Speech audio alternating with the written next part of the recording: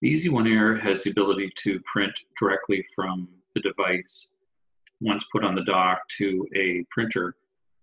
And if you do some tests and then go to the reports, you can view the results. And down in the bottom right hand corner is the print button. So saying that, it again, you put the unit onto the dock station with the correct printer cable hooked up.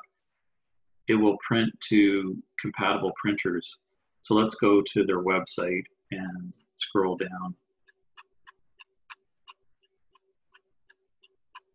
So we have application notes here. There is a lot of other things on the website you may want to check out.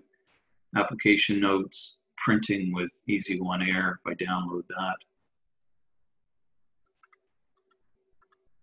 So it will show you how things hook up, unit on the cradle, and then a cable to this printer.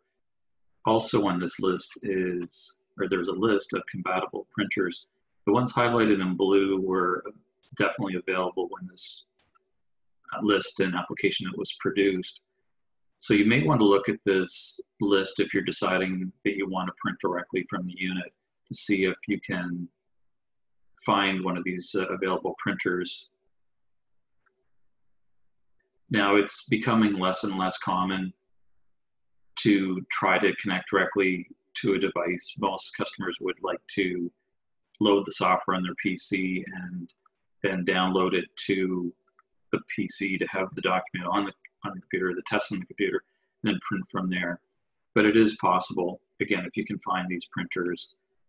Um, the uh, again, I would check back to that website because that application may be updated uh, after you buy a unit. It may be changing on a regular basis.